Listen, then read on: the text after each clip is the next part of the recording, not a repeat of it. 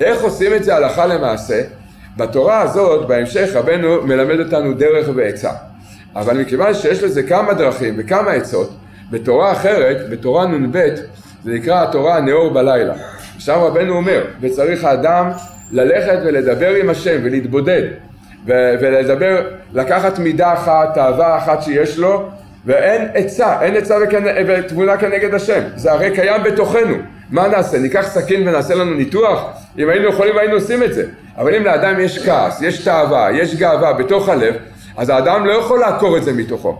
אומר רבנו, העצה הראשונה שרבנו מגלה לנו, רבנו אומר לנו, לך תעשה התבודדות, לך תדבר עם השם.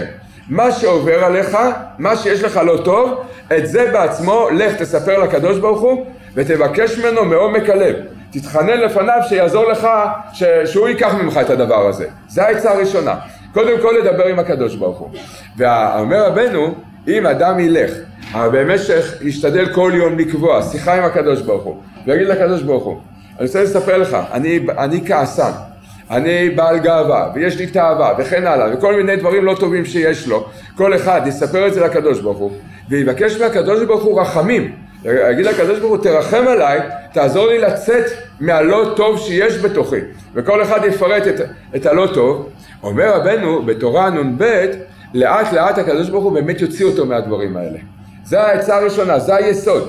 היסוד הראשון זה לא להתבייש, לא להתבייש לספר לקדוש ברוך הוא כל מה שעובר עלינו. ואדרבה, על ידי זה זה הישועה שלנו. אני, כמדומני שסיפרנו את זה פה, לפני uh, כמה שנים, ניגש אל היהודי, הנשמה מאוד יקרה, והוא חזר בתשובה, ולפני שהוא חזר, לפני שהוא חזר בתשובה, במשך הרבה שנים הוא היה משתמש בסמים מאוד קשים.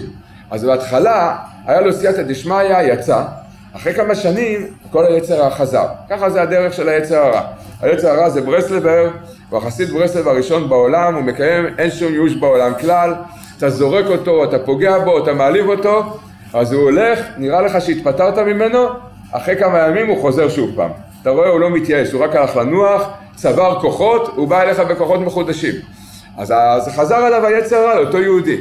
אז הוא בא ואמר לי, אמר לי, תשמע, זה נורא ואיום, אני כבר נשוי, יש לי אישה, ילדים, והשם ירחם, אני מתחיל ליפול בחזרה למקומות שהייתי. הוא פחד מזה. אמר לי, מה אני אעשה? דיברנו כל מה שהיה אפשר, ובסופו של דבר, יש, היו מעצבים שלא עזר שום דבר, הוא הלך וקנה. אמר לי, מה אני אעשה במצבים כאלה? אמרתי לו, במצבים כאלה, אמרתי לו את העצה, תורה נ"ב, הנאור בלילה, אמרתי לו, מהרגע שאתה יוצא מהבית עד שאתה מגיע לסוחר, שאתה קונה ממנו, כל הדרך אתה עושה התבודדות. כל הדרך אתה מדבר עם הקדוש ברוך הוא. אתה אמר לי, אני אדבר עם הקדוש ברוך הוא? לא נעים לי. לא נעים לי לדבר עם הקדוש ברוך הוא על כאלה דברים. אמרתי לו, תראה, קודם כל, אתה לא תחדש לו שום דבר, הוא יודע לאן אתה הולך. זה דבר ראשון. דבר שני, דבר שני, תגיד לו, תספר לו, תגיד לו, תראה, היצר הרע יותר חזק ממני, אני הולך לקנות סמים, תעזור לי, תרחם עליי, תעזור לי שאני לא... הוא אומר, בסדר, חמש דקות אמרתי לו את זה. אמרתי לו, אחר כך תסביר לו, תסביר לקדוש ברוך הוא, תראה, יש פה סוחר, הוא הלך לקנות מערבים, תגיד לו את השם של הסוחר, איפה הוא גר, איזה חומר, הוא אמר לי גם שהוא מוכר לו חומר לא טוב, אז תספר את זה גם את זה לקדוש ברוך הוא. ספר לו את, את כל מה שעובר אליך, ספר לקדוש ברוך הוא. באמת, ברוך השם, אחרי כמה חודשים, אמר לי, אתה יודע, פתאום אין לי כבר כל כך יצרה לעשות את זה, ניצלתי מזה. אמר לי, תגיד, זה בזכות ההתבודדות? אמרתי לו, בטח שזה בזכות ההתבודדות. אומר, תראה, בוא אני אסביר לך. בדרך כלל, כשחסיד ברסלב הולך להתבודד, מה אומר לקדוש ברוך הוא? תעזור לי לשמור את העיניים, תעזור לי לא לכעוס, תעזור לי לא להתגאות. זה התבודדויות שחשובות, אבל כבר בשמיים מכירים אותן. פתאום יש כזאת התבודדות, שיש איזה, אתה יודע, הגיעו כאלה דיבורים למעלה.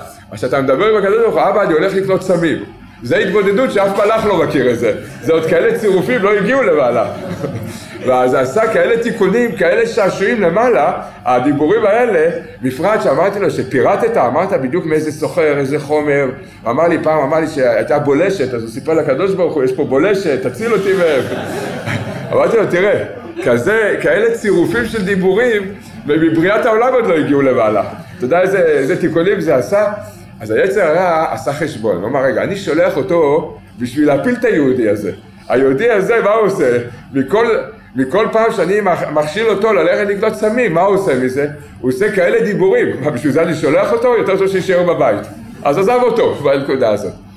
אז זה, זה מה שרבנו אומר בתורה נ"ב, שברגע שאנחנו מקשרים ומחברים את עצמנו עם הקדוש ברוך הוא, זה עצמו מתקן את הפנימיות שלנו. זה, עצה מאוד מופלאה ונפלאה הדבר הזה. Okay, אוקיי, איך אנחנו יכולים להתגבר על כעס? איך אנחנו יכולים להתגבר על גאווה? הרי כל אדם יודע שבא רוח של כעס או בא רוח של גאווה זה יותר חזק מאיתנו. זה ברגע אחד מכשיל אותנו, אדם, אדם יכול להילחם בכל הכוחות שלו בכל התאוות, בפרט התאווה הידועה, תאוות ניאוף, יכול להילחם בכל הכוחות, וחלילה בא רוח והוא יכול לכפר עוון, ברגע אחד אני לוקחת אותו, סורבת אותו, וזה כל אדם, לכן חז"ל אומרים, אין אפוטרופוס לעניין הזה, אף אחד לא יכול להגיד, וזהו, אני ניצלתי מזה ואני כבר, אה, לי אין בעיה עם זה. אז, אז רבנו אומר, ורבנו מגלה לנו את היסוד הזה, איפה שאתה נמצא, תדבר עם הקדוש ברוך הוא, וזה עצמו הישוע, זה עצמו שאתה מדבר עם הקדוש ברוך הוא מושיע אותך.